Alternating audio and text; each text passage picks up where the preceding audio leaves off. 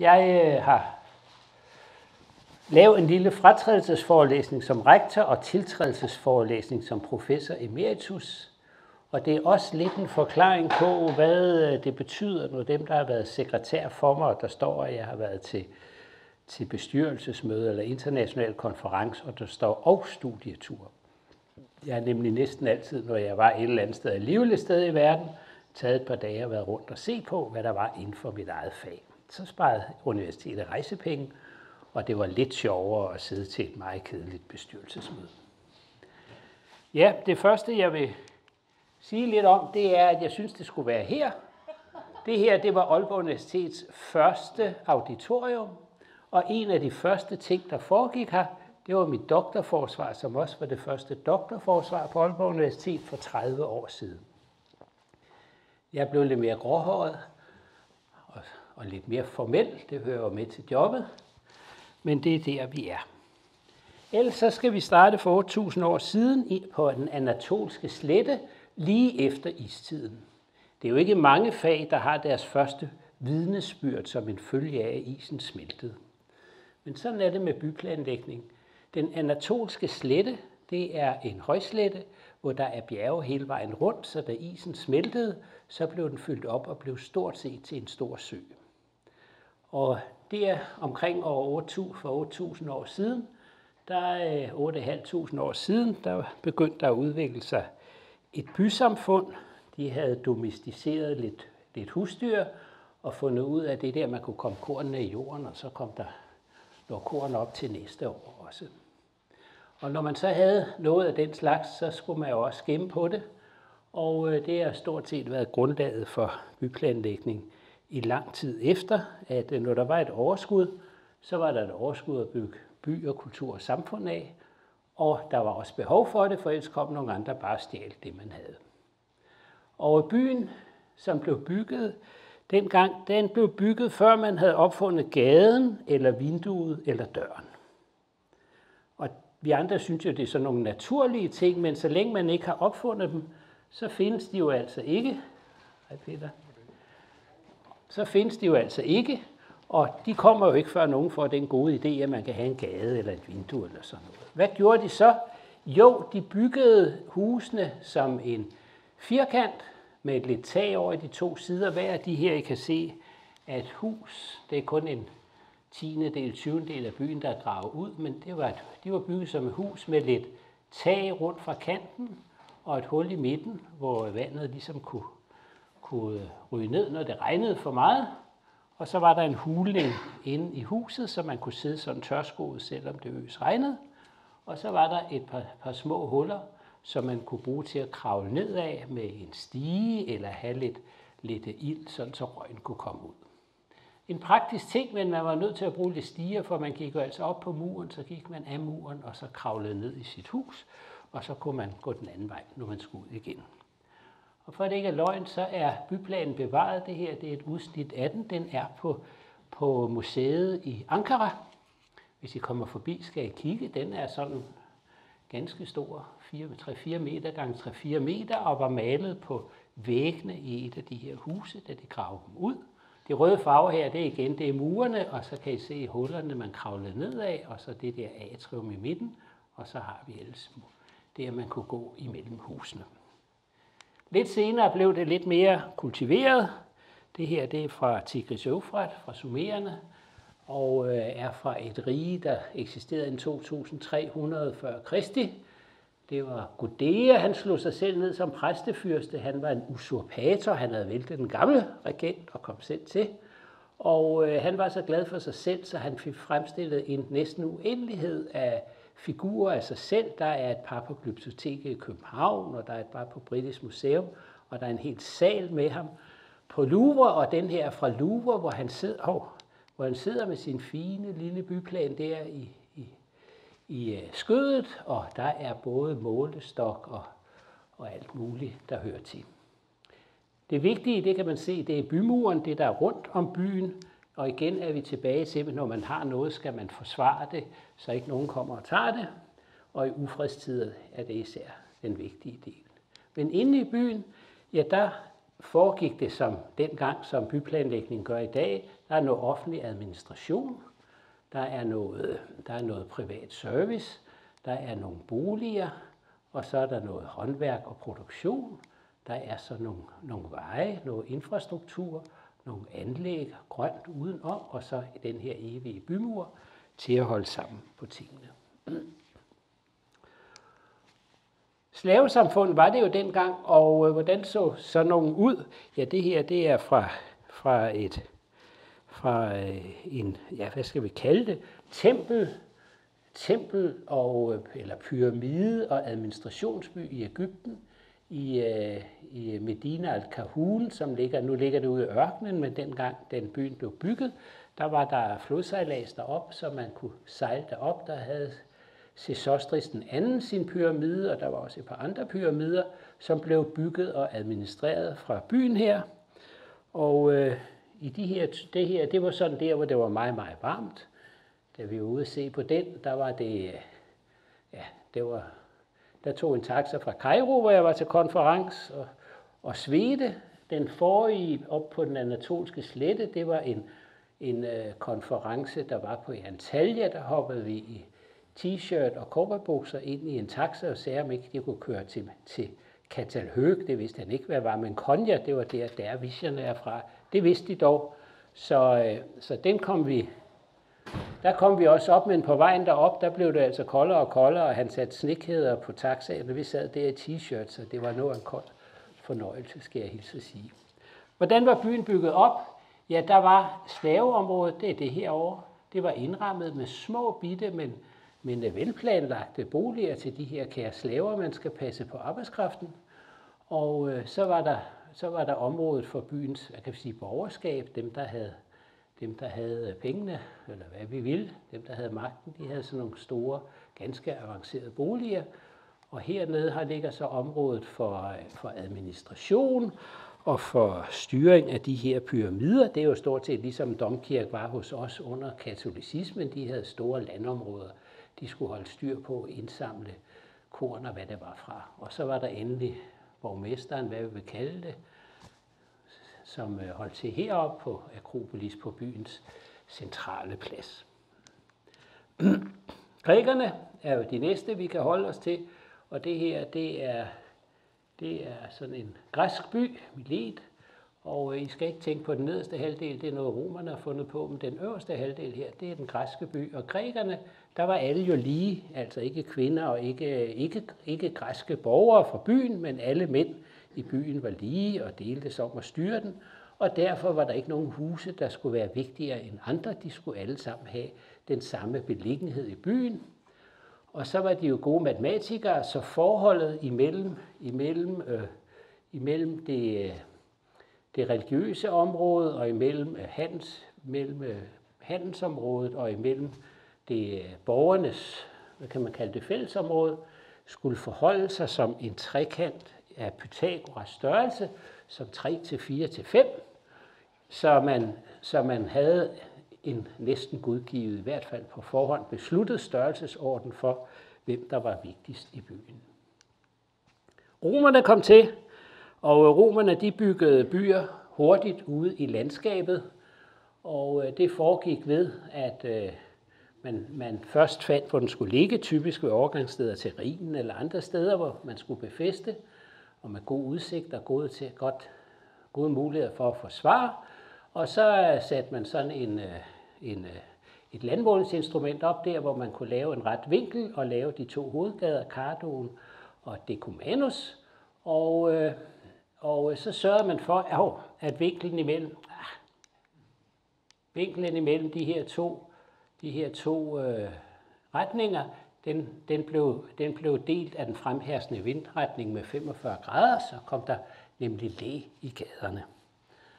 Og øh, sådan en by kan I se her, Timgade fra, den ligger i Algier, og der har vi så byen delt op i fire dele, og øh, det, der i dag hedder et kvarter, blev med fra mit kvarter, det var ganske en fjerdedel af en romersk militærby, og det, der hedder en karé, det var så den enkelte lille karé, som var udtrykket igen fra det romerske militær, den dagorden, man stillede op, når der var fjender i farvandet.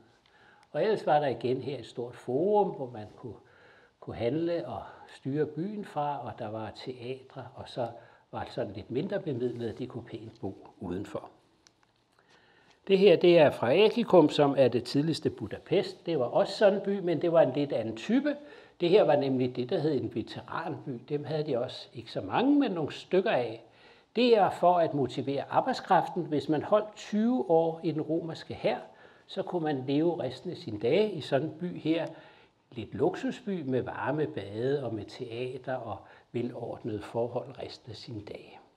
Der var ikke så mange, der overlevede 20 år i den i den romerske hær, så det var ikke nogen rigtig dyr foranstaltning, men det gav selvfølgelig motivation til at holde ud, når man efterhånden havde været der rigtig længe. Det er sådan en slags pensionsordning. Det kender vi andre jo også. Og så var det en luksusby på den måde, at der var indlagt gulvvarme. Der var nemlig varme kilder, der blev brugt til badet, men også til uh, inde, i, i, inde i husene der var gulvene lagt op på søjler, og så løb der varme kilder hernede under, så man havde rigtig moderne faciliteter i alle husene. Og det her det er for at sige det første om, eller noget, lidt om øh, videnskabs- og, og empiri, fordi Vitruvius, der skrev de, de 10 bøger om arkitektur, gennemgik meget, hvordan man planlagde, burde planlægge en by. Og øh, han gjorde op med romernes forestilling om, at der var fire vinde, han argumenterede for, at der var otte. Det havde han lært hos grækerne, og han havde lavet forsøg her ved Vindenes tårn, der stadig står der så pænt i Grækenland, og han havde sat et flag på heroppe, og det viste at der kom vind fra alle otte retninger. Hermed var det bevist, at der var otte vinde og ikke fire vinde til i den her verden. Og det var jo både empirisk og teoretisk og alt muligt. Så, så der, han var næsten en videnskabsmand. Der er andre motiver til byplanlægning. Der er det religiøse, det her det er fra Cusco i Peru, som er bygget op som en jaguar. Det er deres hellige dyr, og de havde jaguar-kriger.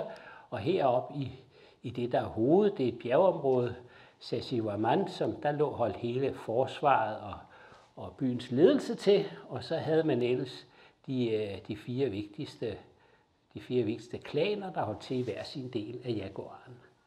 Og den ligger der jo lige så fint den dag i dag. Der er andre motiver. Det her, det er fra, det her, det er fra Teotihuacan, lidt nord for Mexico City. Og øh, det her billede er taget fra det, der hedder månens pyramide. Herover ligger solens pyramide, og ellers ligger pyramiderne derned i en uendelighed. Den vigtigste, det var solens pyramide, fordi det var den, der sikrede, at der kom sol. Hver aften, når solen gik ned, foretog man en menneskeoffring, og se, så virkede det, så kom solen tilbage.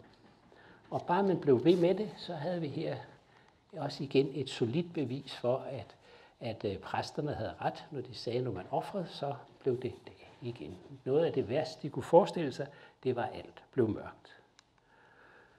Her er vi over i de muslimske byer, og nogle gange så synes øh, vesteuropæer måske nok, at det muslimske byer er noget frygteligt rod at være i, med krogede gader, og man kan ikke finde rundt til noget.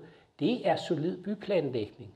Sagen er nemlig den, at man i, i den muslimske tro, der, kan, der er noget, der hedder onde øjne, der kan finde frem til en, men de kan ikke kigge om hjørner.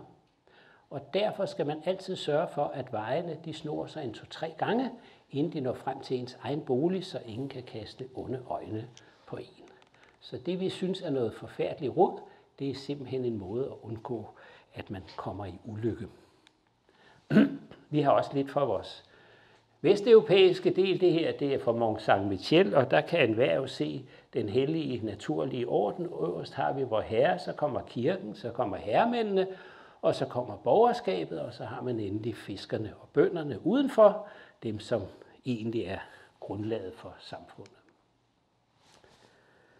Fra slavebyerne, så er vi så småt ledet over i det, der hedder feudalisme, og øh, det var kineserne nogle af de første til at, til at øh, få styr på. Og øh, deres feudale systemer blev fuldt op med, øh, med en ganske hæftig og velplanlagt byplanlægning. Og det hele startede med deres første kejser, øh, som øh, havde en øh, første minister, Lissi, og han var en filosof, skrev digte, og så havde han den grundlæggende indstilling til samfundsindretningen, at om staten inddrog alt overskud, så fik man det dyde i samfundet. Vi vil sige, at der var ikke noget med cigaretter og whisky og sådan noget, fordi der var ingen penge at gøre det for. Hans filosofi gik ud på, at hvis folk ikke havde penge, så var der ikke noget at stjæle, altså blev der ikke tyveri, der var ikke noget at slås om. Og man stod op og arbejdede fra man stod op til man gik i seng, for ellers overlevede man ikke. Og kejseren han fik jo så flere og flere penge ind i skat, og, øh, og de blev så brugt til både at bygge den kinesiske mur og kanaler, men også til at bygge kejserbyer. Hver gang der kom en ny kejser, skulle der være en ny hovedstad. Og det her det er fra Xi'an, som er sådan en velplanlagt øh, kinesisk hovedstad, som, øh, som altid er, er rettet ind efter, efter nordpilen, nord opad, syd nedad, fordi man skal forholde sig til yang og yin. Til dyden mod syd skal man, skal man vende det venlige ansigt, og mod nord til, øh, til afstraffelsen, der skal man vende ryggen. Og så er der altid tre porte, en til kejseren, en til de civile og en til de militære. Og det er der, når man kommer ind i byen, det er der, når man kommer ind, ind i uh, slotsanlægget heroppe, det er der, når man går tur op i Slotsparken. Der er altid en, en bro eller en dør til de her tre typer personer. Det ene sted, der ikke er tre, det er herovre i Konkubinernes Park, der er kun én indgang, og det er vist kun kejseren, der må komme der. Ja, og portene, det her, det er Sians byport. Den sydlige, de var ganske store bygningsværker, og de var altid, altid skræmmende, havde murværk i den yderste, og så var der en indergård, hvor man kunne opkræve skatter, og så er der den inderste, som altid skulle være venlig og imødekommende, for den rettede sig mod byens indbygger, så den havde søjler og venlighed over sig. Det her, det er, er så Beijings eller Pekings øh, byplan, og det er sådan et kinesisk æskesystem. I kan sagtens genkende de tre, de tre, øh, de tre porte hele tiden op igennem systemet, men, men grundlæggende så kommer man først ind hernede. Det her det er kineserbyen. Tatarerne havde nemlig magten, så, så kineser måtte ikke komme ind i selve byen. De kunne holde sig til hernede, hvor man havde templerne for god høst og sådan noget. Så har vi Tatarbyen heroppe, der kunne den herskende befolkningsgruppe bo. Og så kommer man ellers op igennem, øh, op igennem den forbudte by, igennem mur på, eller hvad skal vi kalde det, port på port på port på port på port på port, indtil man når kejseren er helt alene som menneske. Så først er det kejseren som, som statsoverhoved, så er, det, så er det kejseren som den, der styrer embedsmændene, så er det kejseren og hans familie, og så til allersidst, så er det kejseren helt alene. Så sådan et kinesisk æskesystem kunne man holde styr på, hvor vigtige folk er. Der er grad på grad på grad på grad osv. Hvem der må komme hvor langt og hvor tæt på kejseren. Det her det er fra, fra Japan, fra Kyoto. Det er sådan, så japanerne de overførte øh, kinesisk byplanlægning. Det var nemlig kineser, der sejlede over og etablerede et, øh, etablerede et, et, et land derovre, eller hvad man nu vil kalde det, magtforhold. Og øh, det her, det er den anden kejserby. Den første, den lå i Nara, og der drog de nogle konsekvenser, nemlig for eksempel, at havde man kun én markedsplads, så steg priserne på varerne, så ikke det var til at betale. Og havde man kun et tempel, så blev det så dyrt at få, få kontakt til ens forfædres ånder, at øh, det kunne ødelægge en god kejsers penge på. Så han sørgede omhyggeligt for, omhyggeligt for i byplanen, at der var to markedspladser og to templer, så de kunne konkurrere med hinanden. Hvis den ene blev for dyr, så gik man over og handlede det andet sted.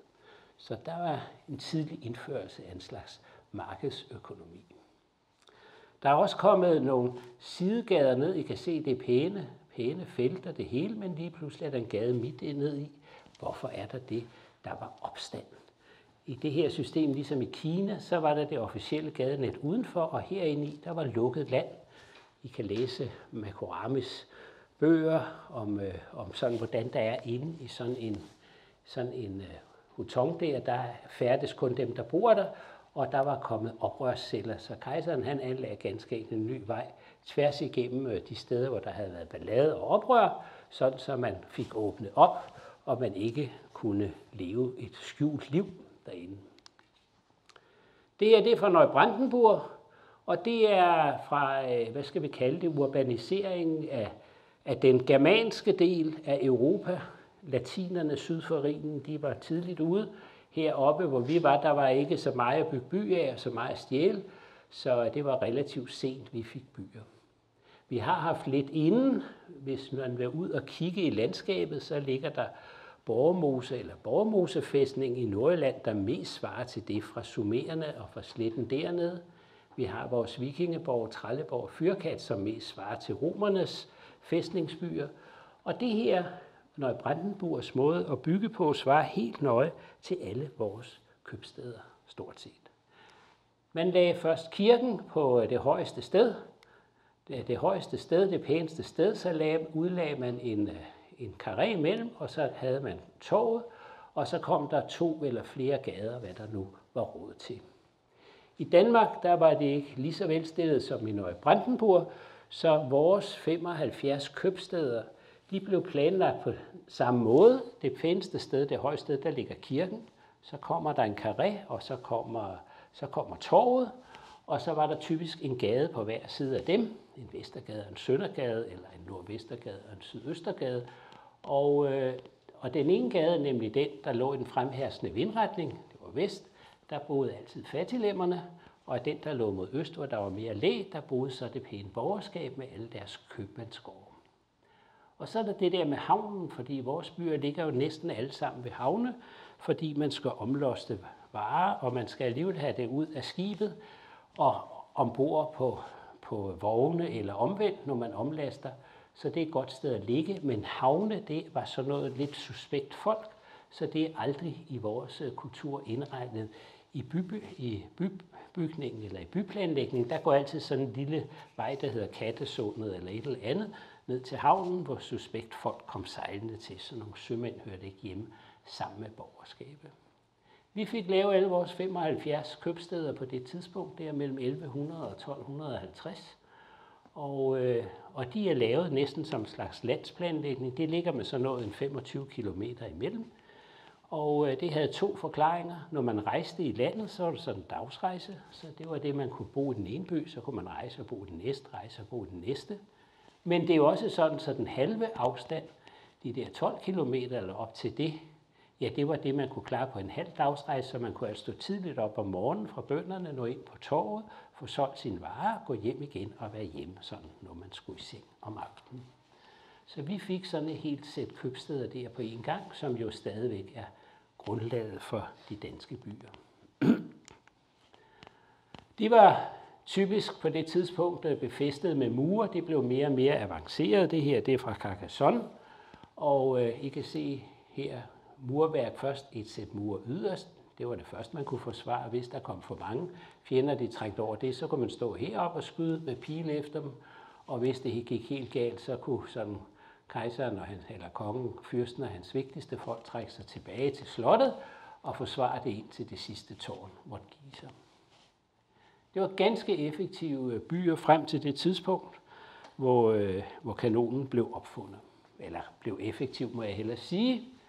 Og jeg skal også her sige en anden ting, nemlig at, at alle de fine eksempler, man har på byer som Carcassonne, de er fejlplacerede. Alle velplacerede byer, de har udviklet sig, og det er næsten udraderet, hvad der var oprindeligt. Der ligger en romersk, sådan en romersk militærby i bunden af London, og i bunden af Paris, og i bunden af næsten alle, eller mange europæiske købsteder, men alle de vel, eller hovedsteder, alle de velplanlagte, det blev bare udviklet videre, men når man som her placerer sig langt op i Pyreneerne, og der ikke sker ret meget, ja, så er der ingen, der skal have revet det ned og bygget noget andet. Så når man skal rundt og finde de velplacerede, så er det altså alle katastroferne. Sådan er det nogle gange i livet. Her kan I se den samme øh, plan for, fra Carcassonne. Der er dels fyrstebyen med snoede gader og med alle forsvarsanlæggene liggende højt. Og det er også med vilje gaderne ikke er regulære, fordi det er svært at slås i krogede gader. Regulære herrer, de vil hellere have sådan nogle pæne linjer. Og så ligger der på den anden side det, der er vilde, det der er købmandsbyen, en lille smule mur omkring, men ellers er det igen det samme mønster, som vi har set, kvadratnettet og så det torv. Men da kanonen blev opfundet, så øh, var det ikke så effektivt længere med de her mure. Man kunne bare blive ved at skyde på det samme sted, så faldt skidtet sammen, og øh, der kom så en helt ny type, type forsvarsværker. Det her det er fra Lübeck. I kan se den gamle mur, der løber herinde. Og så kom der ellers bastioner og, og volde omkring byerne, typisk lavet af jord, som man kunne skyde kanonkugler ind i, uden der skete så frygtelig meget ved det. Så nogen fik alle byerne. Det her det er fra Mannheim. I kan se sådan et eksempel på det samme, at kvadratiske vejnet eller indeni, og så alle forsvarsværkerne udenom. Og I kan genkende sådan nogle byer ved, at der typisk ligger sådan en parkring rundt om her, ligesom i København har, har man har vi øh, Tivoli og Østeranlæg og, og Ørstedsparken og Kastellet og alt det her liggende som sådan nogle forsvarsværker udenom. Vi har et par stykker af sådan nogle, der lever endnu i Danmark, nemlig, øh, nemlig i øh, Fredericia og i København, Christiania. De er bygget efter samme mønster. Hvor er alle de andre mure blevet af? Ja, sådan nogle vold var der om alle danske byer, frem til man fik enevælden. Det her det er fra, øh, fra vi nåede frem til, frem til lidt mere renaissance, så kom der sådan lidt mere elegance over det. Igen et fyrstetårn i midten, og så byen udenom. Men da enevælden kom, så skulle man jo ikke have alle de her mure. Det var kun til besvær. Man fik sådan en skib Clement, der satte sig op mod kongen og kunne bruge de her forsvarsværker, vi havde rundt om byerne herhjemme og alle andre steder. Og det var jo ikke praktisk for kongen, hvis nu folk de laver oprør og ikke vil betale skat og alt muligt andet, så skulle man have bøvlen med at slås med sine egne forsvarsværker. Og det her gør med, at der kom enevælde, men også der kom stående herrer. Indtil da, der forsvarede byens borgere og byen. Man havde sin borgervæbning. Aalborg har vi stadigvæk skydepavillonen og, og papegøjehaven, hvor man en gang om året øver borgerne i at ramme plet og kunne forsvare byen. Men alle de her forsvarsværker forsvandt. Aalborgs forsvandt med skib og klima. De blev kun igen de steder, hvor der var fyrster. Så når I kører ned igennem Europa og kan se sådan en park, der ligger rundt om middelalderbyen, så har der været en fyrste. Hvis det hele det er jævnet ud, så er det altså en anden type købstad, hvor ikke der har holdt, magten har holdt til. Og det her det er sådan et rigtig godt eksempel på, på enevælden. Det er som, øh, som øh, hvad der kom ud af enevælden, da man fik stående herre. Det er Karls Rue, Kejseren havde fået sig læsterligt med tæsk, og, øh, og han opgav at forsvare sin by, for det kunne han alligevel ikke, men havde fået en lille stående her.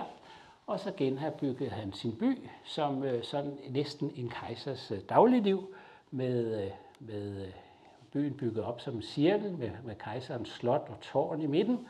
Og så kunne han sådan 8 timer arbejde med embedsførelse, og så havde han 16 timer fri med parken her i baggrunden.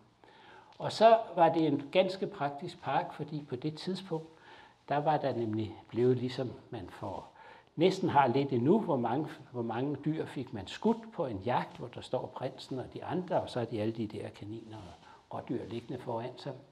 Og sådan var det også dengang, og der gik der rygter i, hvor mange hundrede, som sådan fyrste kunne skyde på en dag. Det var sådan, man fik prestige. Og hvordan indrettede man så parken?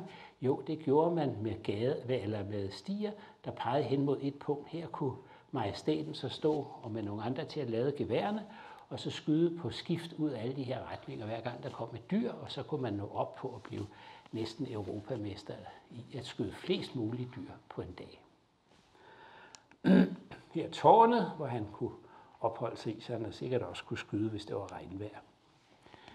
St. Petersborg er sådan en uh, lidt mærkelig blandingsby, fordi nu begynder vi at bevæge os lidt ud over stepperne. St. Petersborg har stadigvæk de her, de her boulevarder, der peger mod øh, stedet, hvor, uh, hvor fyrsten holder til, men det er ikke, det er ikke sommerpaladset, der ligger i centrum, det er admiralitetet og børsen lige overfor. Nu skulle man signalere, at man skulle ud i verden. Det her, det var flåden, der var det vigtige, og ikke det der lidt tilbagestående Rusland. Så nu skulle vi ud og bygge byer i andre dele af verden, og det foregik som her Savannah i Georgia. Sådan lidt primitivt, man huggede noget af skoven væk, og så fik man lavet sådan et rationelt kvadratnetsystem og kunne opbygge sin by efterhånden. Lidt mere avanceret var det hos franskmændene hernede i New Orleans. Der var, der var lidt forsvarsværker omkring, men ellers er det det samme kvadratnetsystem, og I kan jo se, at byplanlæggerne havde større ambitioner, end der ligesom var grund for. Det var ikke hele jakkesættet, der rigtig kunne blive fyldt ud. Så øh, Han havde forestillet sig noget mere end det, der kom ud af det. New York er der nogle gange nogen, der undrer sig over, hvorfor at der er, er, er meget stor forskel på boulevarder og på, på gaderne.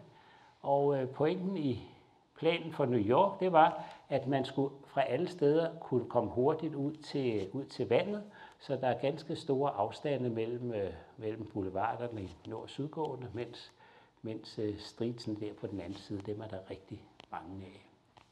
Og så har vi perlen her i øh, Washington, som jo er sådan et sammenstykke af europæisk øh, enevælde og amerikansk lighed. Grundlæggende er det et kvadratnetsystem, men på den anden side vil man fremhæve alle de, de magtfulde steder i byen, hvor der er kongressen og det hvide hus og hvad det ellers er, de skal ligge i centrum af sådan nogle stjerner. Og dem, der har læst Dan Brown, de ved også, at frimurerne var meget aktive på det tidspunkt, både byplanlæggeren og præsidenten, så der er underlejet frimursymboler i alle de her steder i byplanen. Ellers fik vi jo industrialisme, og øh, der kom masser af folk til byerne, ganske enkelt fordi øh, teknologien skred frem. Landbruget skulle bruge færre mennesker efterhånden, så man fik mere og mere redskaber. Og øh, i byerne, der kunne man så få arbejde i den nye industri, men hvordan folk skulle bo, det var ikke noget, der rigtig interesserede, hvad skal vi kalde det, dem, der havde fabrikkerne. Fabriksejerne, der, de holdt sig til Adam Smith. Adam Smith har jo i uh, The Wealth of Nation et citat, der hedder, at jo flere fattige et land har, jo rigere er det. Det passer ikke helt med velfærdssamfundet, men hans analogi, det var, at jo mere billig olie og jo mere billig alt muligt andet man havde, arbejdskraft og sådan noget, jo bedre kunne man få overskud i industrien og udvikle samfundet. Det førte så til, at øh, til oprør i Paris i 1875 med kommunarderne, og øh, det synes den gode kejser Napoleon III ikke var så rart, så han satte sin øh, præfekt Osman til at lave en ny byplan for, øh, for, øh, for Paris, da de havde slået, da de havde slået opstandene ned og sat sig og køre ligesom sådan et, et punkt over, nu er det slut med det. Og øh, det gik drastisk for sig alle de steder, hvor der havde været oprør. Der hævde man simpelthen alle husene ned, og så gik man i gang med at bygge, med at bygge Paris op igen. Alle de sorte gader her, boulevarder, som Osman lavede, lange lige gader. Små snoede gader med brosten, det er nemlig ikke godt for en stående her, der har uniformer på, skyder med kanoner og gevær og går i ræd og række. De kan ikke rigtig komme frem, og folk var så formastlige, så de to brosten, der gik op på tredje sal og smed ned i hovedet på de pæne soldater med de fine uniformer. Det duede ikke. Nu skulle der være nogle store boulevarder, hvor man kunne marchere og skyde og, og have opvisninger og køre med karetter og karosser. Men det var mere end det, han gjorde hos mand. Han havde nemlig en idé om, at en by det er ligesom et menneske. Man skal, den skal respirere. Der skulle være parker, hvor man kunne få ilt, luft, der skulle være gader, som var ligesom arterier, man kunne komme frem med i byen. De her boulevarder som, som øh, pulsårer, hovedpulsårer, og så, og så et kloaksystem, som også fungerer den dag i dag, som det, der bragte alt affaldsstofferne ud af byen. Og han var altså forudseende. Paris den fungerer den dag i dag med hans system, og det gik som for ham som med alle andre solide idealister, at, øh, at kongen blev sur på ham, for det blev meget dyrere end det, det skulle have kostet så han blev afskedet i unåde og uden pension. Det her er et andet eksempel på, hvordan man ville, hvordan Owen prøvede at reformere, reformere et samfundet. Det er det fra New Lanark i Skotland, som stadig ligger der lige så fint. Han havde idéer om arbejde, at de skulle kultiveres, de skulle lære at danse og spille musik, og så skulle de have hans spillerier og sådan noget. Det gik heller ikke så godt, det lukkede efter et stykke tid, men det findes stadigvæk deroppe og et besøg værd. Det her, det får man lave Stakai, som var sådan, han lavede nogle mønsterlandsbyer, hvor man også skulle ligesom bo på landet og have, og have, have kultur, have bøger og musik og alt muligt, samtidig med, at man var landmænd. Desværre så kostede de her byer mange gange mere opretholdt end det, der kunne tjenes på landbrugsvarerne, så det blev aldrig til den store model. Og for at tage lidt fra Amerika også, så er det her Arcosanti fra Arizonas ørken, hvor, hvor igen nogle øh, jeg skal kalde det idealister, prøver at lave en, har prøvet at lave en selvforsynende by, hvor der ikke skulle være biler eller noget. Det gik også lidt i stå. Lidt mere praktisk var, øh, var ingeniøren Arturus Røya i Mata. Han vandt byplankonkurrencen for udvidelsen af Madrid. Og, øh, og, hans, og det herinde, det herinde, det er Madrid, og så foreslog han, at man byggede bondbyer ud til de små landsbyer, hvad der nu var omkring Madrid. Bondbyer, hvor der i her midt i båndet, der kunne køre sporvogne og være telefonkiosker og sådan noget, eller sådan så folk kunne gå ned og ringe eller tage sporvognen ind på arbejde og hjem igen. Og det var jo ganske fremsynet især for ham selv, for han ejede nemlig Madrids sporvognssystem og telefonsystem. Så han har forstået, hvad det hele gik ud på. Vi har et helt tilsvarende eksempel herhjemme i Esbjerg. Esbjerg blev lavet efter 1864, da Ribe ligesom mistede stort set hele sit opland, og åen sandede til, så man kunne heller ikke sejle flæsk derfra til England og smør. Og så ville, skulle vi have en ny by. Og øh, det blev besluttet, og øh, det lokale byudviklingsudvalg havde en stedlig landinspektør som formand, og de besluttede at lade den stedlige landinspektørs forretning udarbejde planen. Det var så hans egen. Og, øh, og de kom så frem til den plan, der er i dag for Esbjerg, som ligger på den jord, som den pågældende landinspektør havde købt inden. Og der var nogen, der også syntes, at det her det kunne lyde som om, at det her det ikke var helt rigtigt at klage til Indrigsministeriet. Men Indrigsministeriet svarede tilbage, at det her det var jo kun helt naturligt, fordi selvfølgelig havde man da den, der vidste min på egen om byplanlægning til at være formand for byudviklingsudvalget. Alt andet ville have været unaturligt. Og øh, selvfølgelig var de jo nødt til at pege på det firma, som havde ekspertisen i området. Det føltes jo også helt naturligt. Og endelig så kom det der med ejendommen, og man måtte jo forvente, at folk, der havde sådan noget viden, de også købte de ejendomme, hvor der var størst chance for, at der kunne komme byudvikling på. Så her var noget, klageren havde misforstået. Men Esbjerg kom op og stå og havde dengang betegnelsen det, det danske Amerika. Så har vi planen fra København. Den udvikler sig som det, der hedder fingerplanen, som vel er den mest, den mest effektive byplan, der er lavet i Danmark. Den blev aldrig vedtaget nogen steder, men alle kunne forstå, hvad den gik ud på. I midten der havde vi København med arbejdspladser og butikker og det hele, og så havde vi ellers fingre ud her med, med S-tog og med motorvej, som øh, gjorde, at man nemt kunne komme ind til byen og komme hjem igen, og der var ikke så bredt andet, at man kunne komme ud i de grønne arealer. Og den plan har jo, har jo over alt måde holdt stik og eksisterer den dag i dag. Nu er det jo ikke kun ud til Avedøre, nu er det til Køge, og nu er det til, til Høje-Tostrup, Roskilde, det er til Frederikssund, Ballerup, Frederikssund, det er til Farum, og det er op til Hillerød, og så Helsingør. Så det har været en af de planer, der har, der har stået, kunne holde til tidens tand, fordi alle kunne forstå, hvad det gik ud på. Den anden type øh, byplan, som er vendt tilbage igen, kan vi genkende her næsten fra, fra de gamle romer og grækere. Kvadratnetplanen, som har den fordel, at den fordeler trafikken over området, så man altid kan komme frem. Er der en vej, der bryder ned, så kan man altid køre en anden vej. Det fordeler, det fordeler trafikken, og det vil I se i dag i mange byplaner, når man skal rette op, så er det den måde, det foregår på. En anden løsning til at løse trafikproblemet, det ser vi jo i Asien. Der bygger man højhusen så tæt, at man kan gå til arbejde og gå til at købe ind. Der er simpelthen ikke plads til bilerne. Så kan der være lidt kollektiv trafik, hvis man skal langt væk. Og det eneste byregulerende bestemmelse, der rigtig slår igennem, det er, at man skal sikre, at højhusene ikke kommer i modfase, når de, når de begynder at svinge. De kan svinge adskillige meter, og så må de jo ikke stå sammen foroven. Det er sådan en grundlæggende regel, alle kan. Men ellers så alt det der, vi har med udsigter og hvad det ellers er, det kan man godt skyde en hvid pin efter.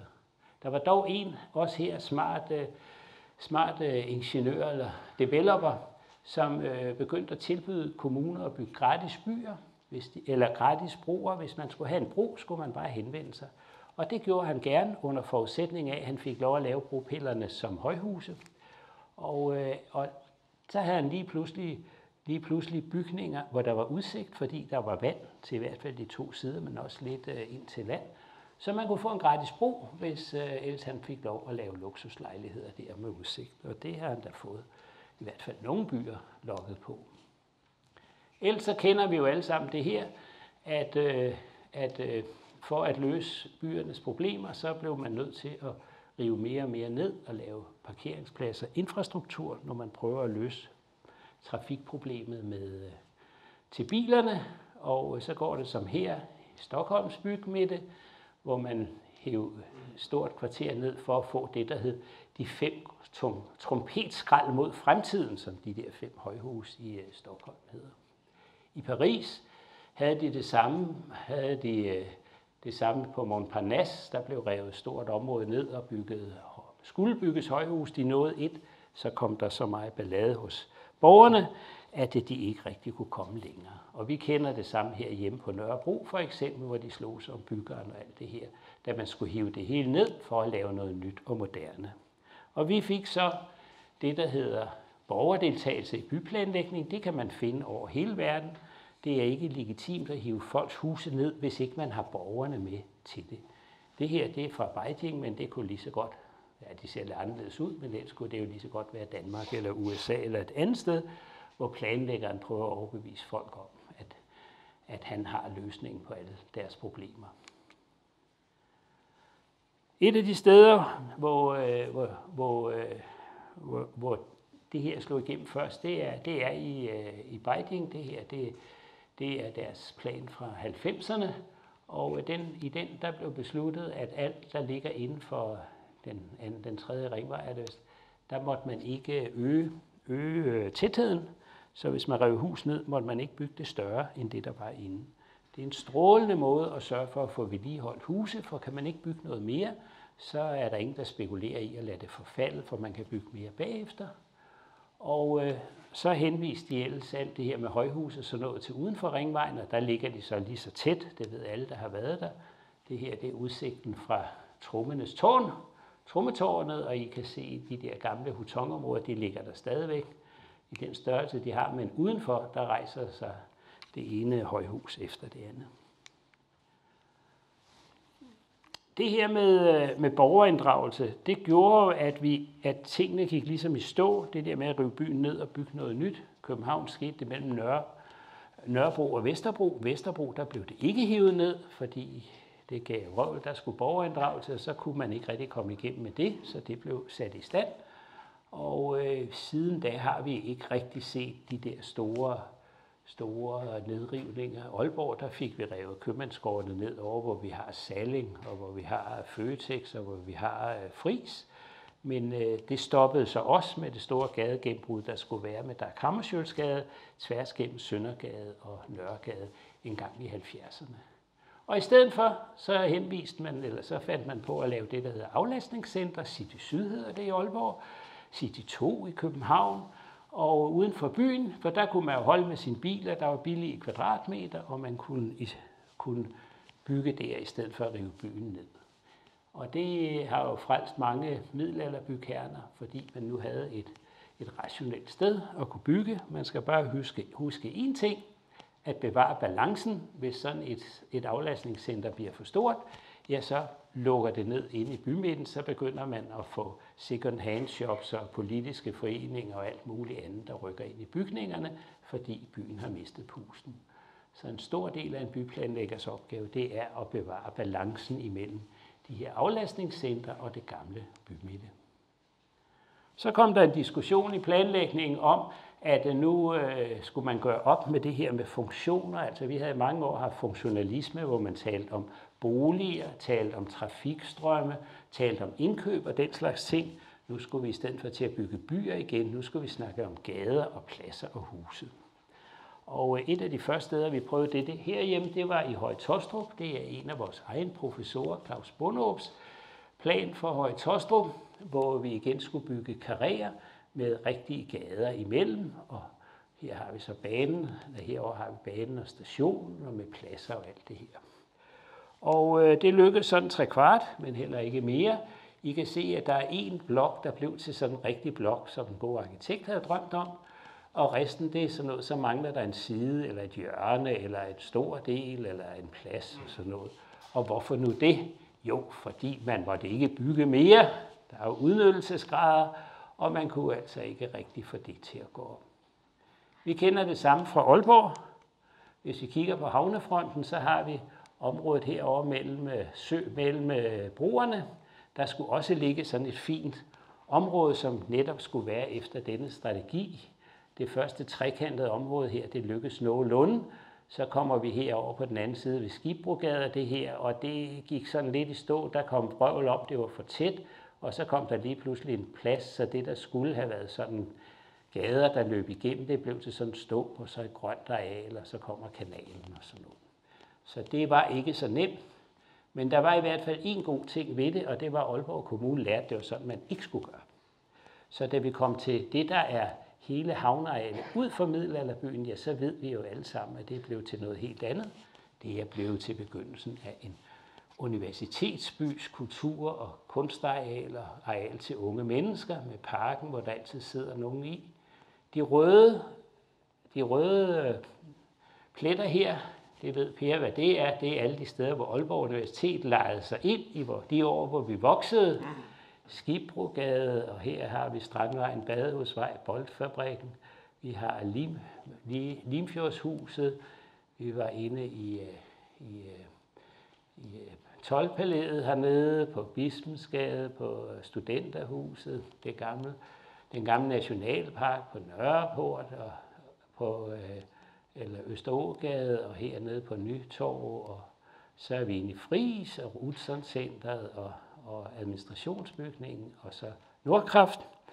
Og nu er det så blevet til noget, noget nyt, som, som vi er ved at bygge op i øjeblikket, og udgangspunktet, det var i virkeligheden noget andet, som ud over det her med, at byerne kom til at ligge på aflastningscenter uden for byerne, så var der jo lige pludselig områder inde i byerne, hvor folk ikke lavede vrøvl, hvis man lavede noget andet, nemlig nedlagte industriområder. Det startede med havne, det her det er fra Baltimore, som var næsten den første by, hvis der kom igennem sådan noget nedlagte havneareal, det var ikke noget værd. Der var ingen, der lavede vrøvl, hvis man hævde skidtet ned og så byggede noget nyt. Og øh, Aalborg, der kender vi jo også det vældig udmærket. Vi kender det fra Etanitten, vi kender det fra Banegårdsarealet og vores havnefront.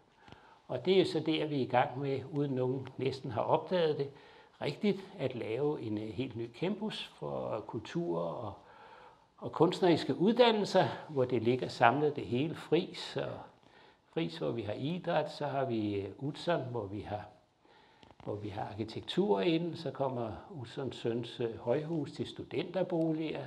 Der er et hotel, det hører altid hjem på en campus. Så kommer den nye, der åbner her til sommer. Create, som, øh, som, øh, hvor de skal samles dem, der er næsten alle de andre steder rundt om i Midtbyen. Så kommer Henning Larsen studenterbolig, og så kommer Musikkens Hus, og så er der Nordkraft herover. Et helt fint sammenhængende campusområde, ikke besluttet som egentlig campus, men besluttet af en række forskellige initiativer, men som kommer til at ligge der som Aalborg Universitets bud på, på, hvad man kan gøre i bymidten for at øh, fremme videnssamfundet. Og det er jo en af de øh, ting, som universitetet uden diskussion efterhånden har været medvirkende til i Aalborg, at øh, ændre byen fra at være en industriby, hvor alt lukkede ned, til at være, til at være en moderne videns- og universitetsby. Og så har jeg prøvet at samle lidt op, hvad der er sket i de år, jeg har været her. Mens jeg var dekan, der fik vi udvidet det, der hed Teknat, altså teknikområdet, ingeniørområdet, til at have alle ingeniørområder. Vi havde i starten øh, bygningsområdet og maskinområdet, og vi havde elektroområdet, men ikke kemi- og bioområdet. Det synes ministeriet ikke, vi behøver have i Aalborg. Det endte alligevel med, vi fik. Og øh, de nye områder, arkitektur og design, det synes de måske heller ikke helt, men det kom jo så også. Og øh, naturvidenskab, der havde vi matematik og fysik og datalogi. De tre andre områder, geoområdet, kemi, bioområdet, dem havde vi ikke, og vi havde heller ikke idræt. Det fik vi også igennem. Og så har vi vel siden da været i gang med også at få humaniora og samfundsvidenskab og sundhed udvidet med jura, tekno, med antropologi, filosofi, medicin, MBA og så kunstuddannelse. Så vi i dag har, kan vi sige, et fuldt udviklet universitet.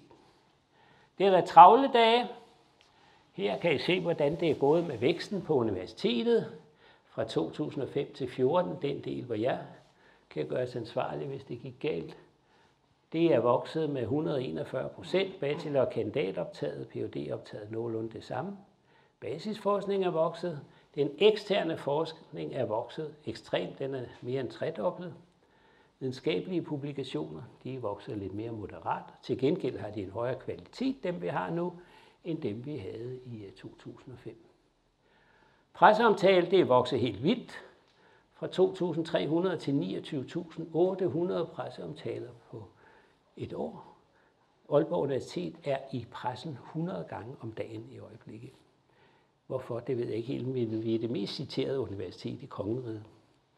Og så er der egenkapitalen, det elsker jeg at sige til formanden, for vi fik jo brugt lidt mange penge her i 2012, at den trods alt er firedoblet i den tid, jeg har været rektor. Men han kendte jo ikke det første tal. Så er det det, jeg vil kalde balanceret udvikling. Det er sådan, så, øh, så det, er jo, det er jo ikke, at man vokser 130 procent i optag. Det er jo ikke det samme, man vokser 130 procent i studerende, fordi der er hele tiden fem årgange, og de tidlige er mindre. Så øh, væksten i studerende, internationale studerende og phd studerende de er i, i balance. Vi er altså ikke blevet, blev mere national eller mere international, Vi ikke blev mere bachelor end kandidat eller det omvendte. De er sådan i pænt øh, balance og PUD'er også. Graderne, de må jo reflektere nogenlunde. Graderne, de, oh, de reflekterer endnu mere, de reflekterer endnu mere, øh, vil være endnu lavere, fordi det er jo kun de seneste årgange, det vil sige de mindste årgange, vi har haft gående, når man vokser, er, er de sidste. Så de vokser lidt langsommere. PhD-graderne er vokset rigtig meget til gengæld. Stå er vokset med 66 procent. Og øh, og så har vi ellers indtægterne, 96, og øh, vi har ikke brugt så meget på husleje, som vi har tjent. Så, øh, så det her med at bruge det hele til byggeri, er der nogen, der mener, det er ikke rigtigt. 91 procent er brugt til lønninger, og så har vi fået flere tapper, eller vipper end tapper, så det er heller ikke sådan, så det hele bliver til administration. Og så er der nogen, der synes, der bliver flere og flere studerende, der bliver mere og mere travlt, det hele det bliver mere og mere det bliver mere og mere elendigt. Det er ikke rigtigt. Der er ikke sket et klap. Hvis man kigger på standarden, så er det sådan, så der er nogenlunde lige mange studerende per medarbejder. De har fået en kvadratmeter mere per medarbejder, hvis nogen kan finde den. Der er altså gengæld kommet to mindre per studerende, men publikationer det samme. basisforskningindtægt det samme. Der er kun én ting, der er vokset. Det er ekstern forskning. Den er rigtig vokset. Alle de øvrige standarder, de er, som de er har været hele tiden, og så det her med, som også nogen siger, jamen det her det er jo ved at blive et undervisningsuniversitet. Nej, det er det ikke.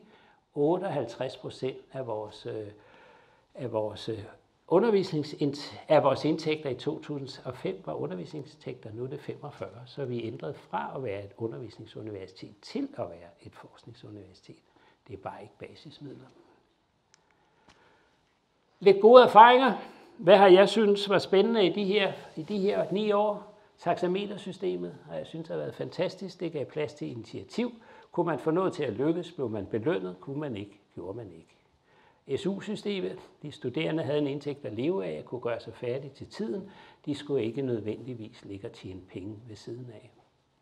Og så har vi det sidste rest af det af den gamle universitetsform med, øh, med valgte, valgte øh, ledere, hvad vi vil kalde det, studienævnene, hvor øh, studerende og med og lærer blev valgt, og havde fri, det jeg vil kalde fri uddannelsesregulering, hvis der var et område, vi ville specialisere eller lave en ny uddannelses på, så kunne vi det uden at have politisk involvering, alt for mig i hvert fald.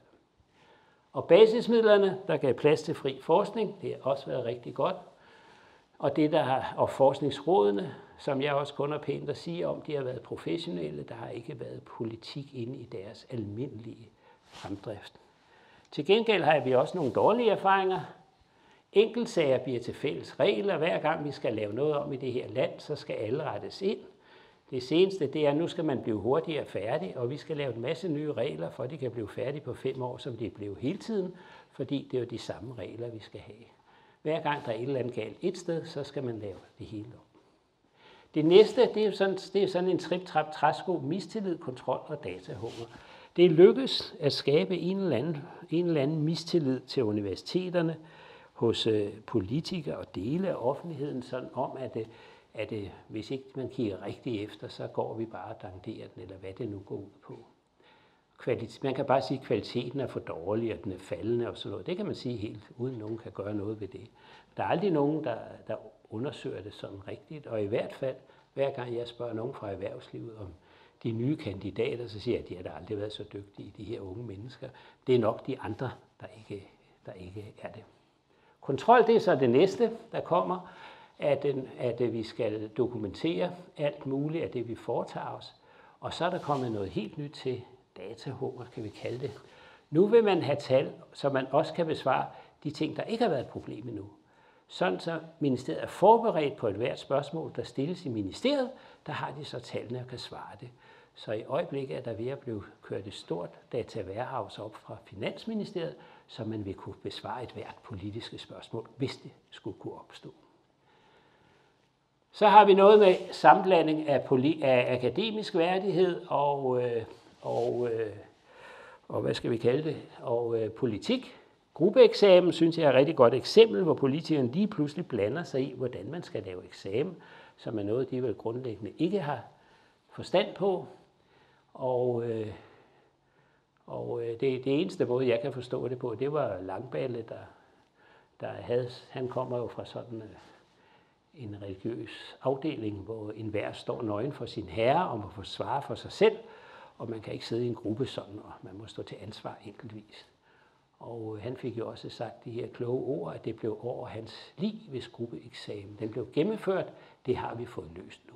Så det er løst helt sig selv. Og vi gjorde den morsomme erfaring, der var ingen, der anede, hvordan man holdt gruppeeksamen.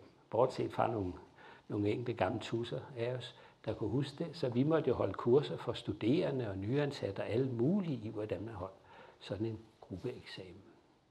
Konfrontationstimer, det er lidt det samme igen. Så får nogen sagt, at de studerende får for få timer, og så er det også for galt, og der kommer et helt nyt stort kontrolsystem, hvor mange timer de får. Og så kan man snakke til, man er blå i hovedet om, at, øh, at øh, der er mange måder at måle sig noget på, men helt grundlæggende er det jo igen politisk indblanding i noget, som er et universitets opgave at få mest mulig fornuftig indlæring ud af pengene. Og så er vi videnskabelig uredelighed, hvor det også er ved at udvikle sig til, at det er politikerne, der laver regler for, hvordan man skal afgøre videnskabelig uredelighed, som vel også er noget, der for mig hører hjemme på et universitet, et akademisk råd og videnskabelige selskaber og sådan noget. Så er vi modarbejdelse af internationalisering. Jeg har den helt grundlæggende opfattelse af, at hver gang, at ministeriet vil hjælpe os med nye regler, så bliver det helt mere håbløst. Og især internationalt, fordi internationale aftaler altid er bilaterale. Det bliver helt håbløst, hvis der er flere lande inden. Når det er bilateralt, så har hver land sine egne aftaler, og hvis de ikke passer sammen, så kommer man ingen vejen. Så vinderne internationalt, det er dem, der ikke har nogen regler om internationalisering. Så kan vi tage de andres regler og bruge dem, hvis vi synes det. Hvad enten det er dobbelt degree eller joint degree, eller om de skal være i udlandet og skal være hjemme og alt det her. I øjeblikket har vi store problemer med dem, vi har af studerende i, i Kina, fordi man ikke må lave gruppearbejde i Kina. Og øh, vi har andre landsteder, hvor, hvor øh, man ikke kan lave dobbeltdegrees, fordi det andet land ikke har dobbeltdegrees. Og så, så der er altid, hvis, jo færre regler man har, jo bedre kan man indgå en handel. Og vi havde næsten ingen regler på det her for 10 år siden, der var det rigtig nemt at lave internationalisering. Nu bliver det mere og mere håbløst. Og nu er det jo lavet en hel, nu er de jo lavet en hel kampagne, der skal hjælpe os, så nu bliver det sikkert fuldstændigt umuligt. Og så er der medfinansiering af programmidler. Jeg synes, forskningsrådene har været strålende, men der kommer mere og mere medfinansiering, og det er jo virkelig en ekspropriering af vores basismidler, dem vi skulle bruge til at forske. I det, som forskerne synes er interessant, dem skal vi lige pludselig til at bruge en væsentlig del af, for at hente penge hjem fra Højteknologifonden og Innovationsfonden og hvad det hedder. Ja, så but never give up. Vi holder fanen højt så godt vi kan. Old professors don't die, they just fade away. Så det er det, jeg gør nu.